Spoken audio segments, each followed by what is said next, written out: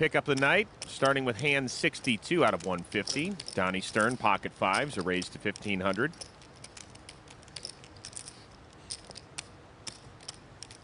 Eugene Katchalov folds. Jack four for Daniel.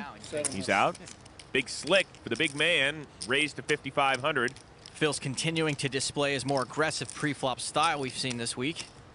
Andre looking at 10-3 suited and calling. Another, another four then? I think the wheels may have finally come off Andre's race car. Dani calls with his pocket pair. We can honestly say this is the first loose cannon who's playing like it's not his money. First flop of the night. Queen, queen, eight, two spades. Hellmuth checks. Andre checks. Everybody's missed, which means Dani's pair of fives is best. He's looking at a continuation bet, even though this is going to be the best hand a decent percentage of the time. Dani makes it 8,500. So far this week, Phil's had a hard time laying down ace high on the flop, especially to Dani.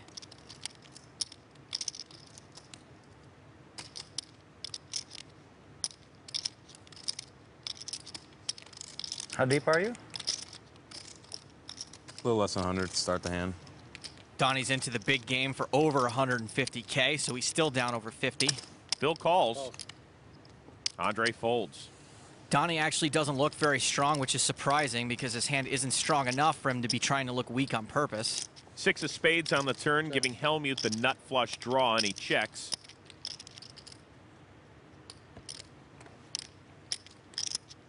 At this point, both players probably will want to just have a cheap showdown. There's the check by Dani. The river, the seven of diamonds. Phil still only got ace high. Hellmuth checks. Looks like Dani's struggling with thoughts of value betting his fives. He has to wonder what worse hands will call him.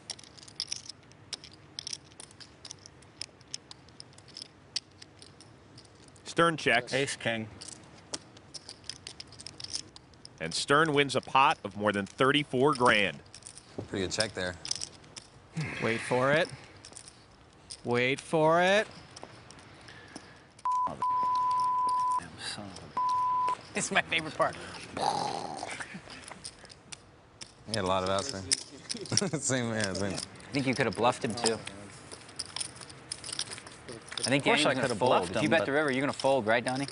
He called the river. He's, If, he's if, an you bet, if you kid, bet, for sure. if you bet tw- twenty-two hundred I would, dollars, I would, I would, I would have raised. he could have bet twenty-two hundred. I think. Yeah. You guys are never smart enough to raise the right amount. There we go. That's what I'm talking about. What? the Man. That's just Phil's way of saying, nice hand, sir.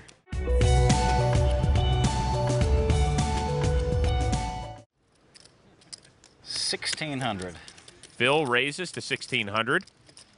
16, huh? Yep, yep. Pair of jacks for Dani Stern. Stern and Hellmuth got into it at the table last night. Dani calls. Looks like Dani's continuing his trend of getting in Phil's way. Dani hasn't re-raised because he's out of position and he gets to under-rep his hand. Deuce, ace, king, two diamonds. Stern checks. Hellmuth checks. Phil's out flop Dani, but he checks for pot control. Stern now with a set of jacks after the turn. Terrible card for Phil. Dani's looking to bet for value and start building a pot for an even bigger river bet. Stern bets 2800. Hellmuth quickly calls with second pair. Hard to know that Jack hit Dani. The river. The eight of clubs. The eight doesn't really change anything for Phil. He's still likely to pay off a reasonable value bet on the river. Stern makes it 6500. Phil's just been led into twice, which is strong, but he hates being bluffed. He may be trying to convince himself that Dani's bluffing since Phil checked the flop. When you check behind with a marginal hand, sometimes you end up paying off bets you shouldn't. You convince yourself your opponent is bluffing because you gave him or her the opportunity to bluff. Let's see if Phil's up to making one of his classic laydowns.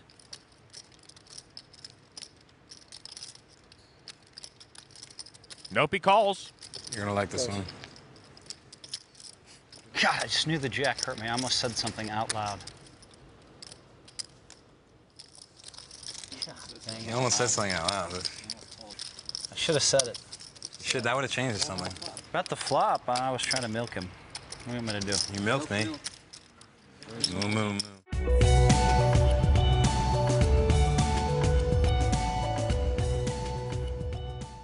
Eugene folds. Same with Daniel. 16. 1600. Uh-oh. Ah, that one hurt. Created a monster. Phil raises. Phil should probably make it less obvious that he's steaming. Dani suited in the small blind. Calls. Prahlad also suited. This is a hand a lot of players would defend in the big blind, especially against a steaming poker brat. and Friedman will do so. Three to the flop, which is nine jack six. Top two for Hellmuth. Phil's locking on the tractor beams. Stern the first to act Dani's open-ended with an overcard. and bets 3,600. Friedman folds, and Phil raises to 15,000. Dani was hoping to take it down with a semi-bluff. Phil's just told Dani where he can put that semi-bluff. Phil's raise is pretty big. On the off chance Dani has a set, he's kind of painted himself into a corner. Keep in mind, you want players with draws to call you. Phil gets what he wants. Wow. Nice hand.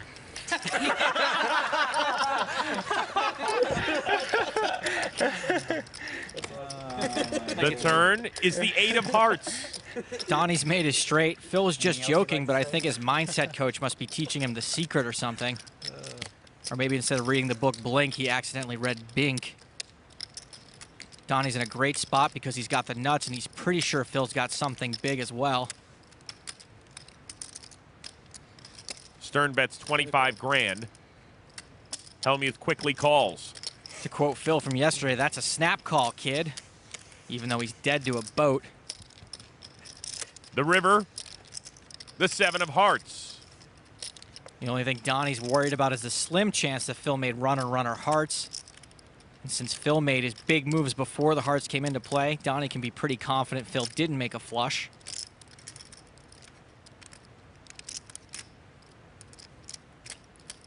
It'll be safe for him to value bet this river. Stern makes it 35,000.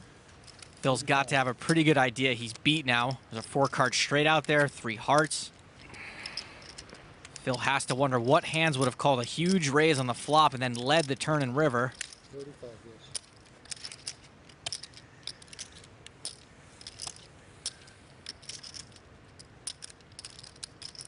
yes. Is this for real? I mean, is, is, are these hands for real? Phil's impression of David after dentist. Wow. Phil can't believe he's been run down again. He may be trying to talk himself into making a I can't be this unlucky call. Dani's also given him pretty good odds to make this call. 35k more to win over 120, about 4 to 1. Phil should maybe be suspicious of getting such a good price. Wow. What can I beat? I mean, I guess I can beat Jack 8. Phil's trying to figure out what hands he can beat, and that's why this is taking so long. There aren't any.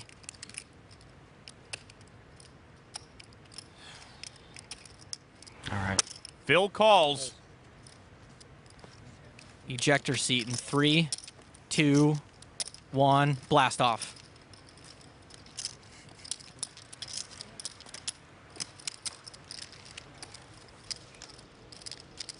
Shocked he called.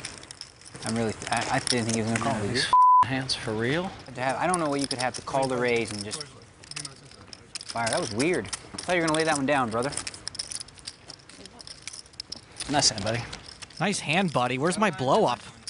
Okay, I'll lead it off. You want to go? I mean, what the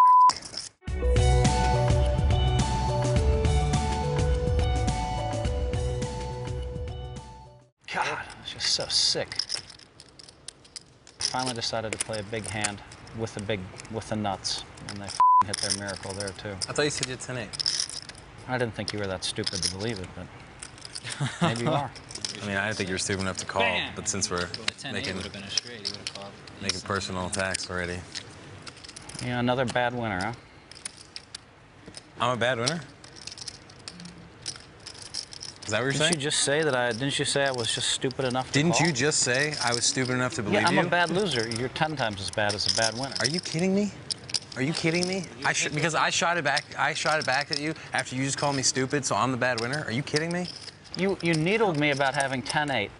For I some didn't needle reason. you. You said I had 10-8. Obviously, I was kidding. So you needled Obviously, me about you're that. kidding. So Why I is that something obvious? You called the you. river when there was a force to, straight on the board. Why is it obvious that you didn't have 10-8? Why, how okay, could it possibly okay, okay. be obvious See, here's the beautiful thing. You honestly don't think you've been out of line at all, and that's amazing to me. That's what? I know that I've been out of line, but I'm a man. I admit it. Now's your chance. You're 23. I don't think you could admit it. Admit that I'm out of line? Are you kidding me? Wow. Did they, do they capture all this for, for the I, camera? I hope so. I think we might get that. Because he needled me about the 10-8. He made the first comment about the 10-8. Did you call him stupid first? I mean, how old are we? This is ridiculous. You said I didn't think you were stupid enough to believe me that I had 10-8. So you're essentially saying, oh, I guess he is that stupid. Yeah, and then you, actually, then he did say that. He did then say, "I guess you are that stupid." What'd you say about the 10-8? Well, why, why, why did you make that Yeah. comment to me back? Why did you? What, that started it to me. You said something about. So I started. It's who started it now. That's what you're arguing about. I mean, Phil. You guys both. We're adults here. Well, I think he reacted though to you. I don't. I didn't hear the 10-8 part. What did you say there? No, he said. He needled me. He needled me with the 10-8 first, What and do then you I, and What, then do- I what, what do you mean needled you? said some comment about he was needling me. Oh yeah, I thought you had 10-8. No, I didn't. Phil, you Oh, you didn't say that. No, oh, I didn't. You didn't What say anything about bet? 10-8. No, you said Oh, you had really? 10-8. You said you had 10-8. Yeah, mm-hmm. that's what I said. Obviously, I was kidding. Why? Why should I know you were kidding? I mean, you were saying it. You, every other time you say what you had, and this time I'm supposed to know. So he said you had 10-8 and you laughed about it or something? No, I didn't. Still need four. No, he, no, he, he, made, he made some clever comment. Phil, Phil. But the thing is, the thing is, all I wanted to do was admit that he had a partner, and he didn't. So, I mean, what a surprise.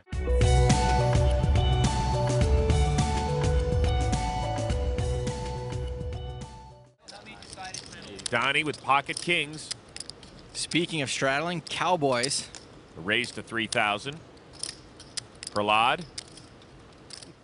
Folds. Right? It's like I don't want to play that high. Five out of the six times. Action over to Phil. Queen. Oh boy, Queen. The get the bleeper ready. 9,000. A re-raise to 9,000. Dani's in a spot where he could make a four bet, but he doesn't want to chase Hellmuth out if he's getting out of line. We know Phil's got queens though, and he'll call just about anything. Call. See, that's already a big game. Look at that. He just put in $9,000. That's because there's a straddle on it, Phil. We're not asking for a double straddle, just the one. Both the straddle and the cooler hand are to blame for the size of this pot. A juicy pot pre-flop, which comes out Jack 8 King. A set for Stern. All Dani needed was for Phil to not flop a set. Phil checks. Dani's in position, so if he bets here, it will look like a continuation bet. 11,000. Phil calls. I was going to suggest that the king might bother Phil, but it doesn't appear so. Jack of hearts on the turn as Stern fills up. Phil's now drawing dead to someone pulling the fire alarm. Hellmuth checks. Phil put Dani on a jack. Maybe the second one hitting will save him some money. Dani's trying to figure out how to get max value. He bets 30,000. These guys both have their hands in their mouths, which, when unintentional, is a sign of weakness. Phil calls. In Dani's case, it might actually be a reverse tell. Phil just called 30,000, drawing stone dead. The river. The 10 of diamonds. Phil checks. I Can't really tell how many that is. The the yellows. About uh, 60. You have about 60 left. There's 100K in the pot, and Phil's only got 60K behind. It would probably look stronger if Dani didn't put Phil all in. I'm on.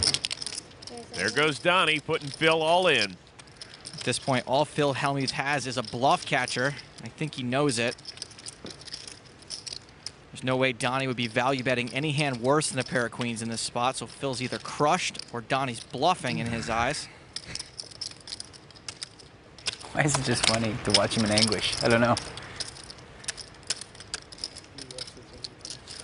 Sick, just the sickest stuff. I mean, just, I mean, I- why, why do I even come here? I mean, I just ridiculous. This guy probably has ace jack and just hit some miracle jack like it was nothing. Maybe he's just bluffing it all off. I mean, uh, Phil's trying very hard to convince himself he can call. See you, Daniel. He knows this could be a while. Here's my thinking, okay? Can't be shit 35,000 when he wanted to call. I think this time he's got, he's got, he- he's not bluffing at all. I think it doesn't look like he's bluffing to me. I think he's betting because he thinks Phil is just sick and annoyed and he's gonna call. 52. But I don't think, I don't think Dani's ever bluffing here. Do You think he's bluffing? No. Come on in. Huddle up. for, for, for luck. Oh, 100%. Everyone here. There's no way. Phil and Dani have had some history this week, maybe clouding Phil's judgment. No, you might be bluffing here. I don't think there's any chance he's bluffing Yeah, here. like almost like like zero chance. close to zero. He wouldn't have even bothered betting the turn. I think I think uh, Hellmuth has ace king. You think he has ace king? He could have ace king. He thinks he has queens. He might have queens. He- He, hey, wait, he did raise less. Actually, he has queens because he made it 9,000 for the flop. Yeah, yeah. He has queens because he has queens, he yeah. only made it 9. He always reaches pot. Yeah. I think he's Is that the There's no Brad pack over there?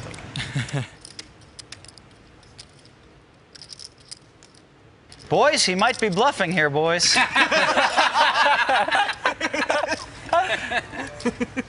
he might be bluffing here.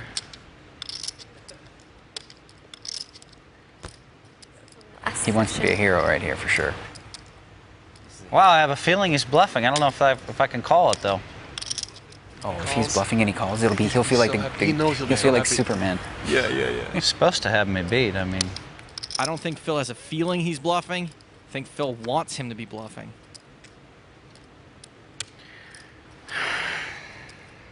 I just also the way that Dani asked, the way that Dani asked how many he's got, is so natural and so comfortable. It's like this. It's like just see what you got. He's like I'm all in. It's like so. Come on, give me a break. You have it for sure. Should I offer Phil insurance? you bluffing, Dani? Wow, I just I just feel like you're I feel like you're bluffing. He wants to win today. He wants to win some good money. So like this is his opportunity to make a be a hero.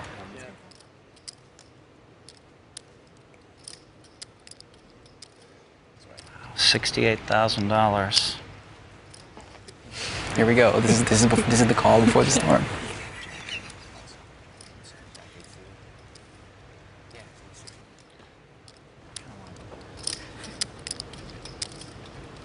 See it when it happens. when I get back. Go back? Yeah. Based on pot odds, Phil's not getting nearly the right odds for how often Dani would be bluffing here. But I don't think this decision is about pot odds for Phil. All right, well, now that everyone's back and Phil's sure the cameras are back on him, we should get a decision soon.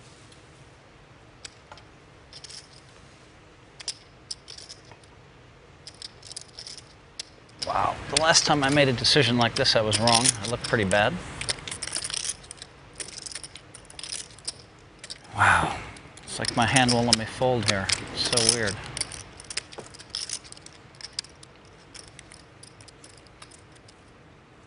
Once someone picks up their cards like that, they usually fold. Just queens, boys. That's all I have. Pocket queens. God, I hate to I hate to give this one up. Just hate to give it up. My read has not been perfect lately, though. That's the problem. You just can't wait to flip over that queen 10 or those two deuces or whatever.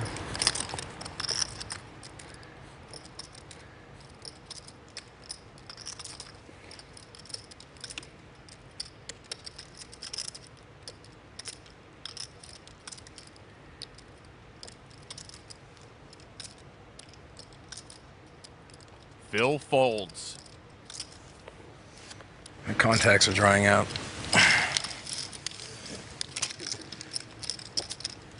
It's unreal. think I that tried. full, Phil. I tried to play. guess. Tried to play two big pots against this kid. He snapped off top two and queens. Snapping off queens is pretty easy with kings. I guess you could call him a whippersnapper.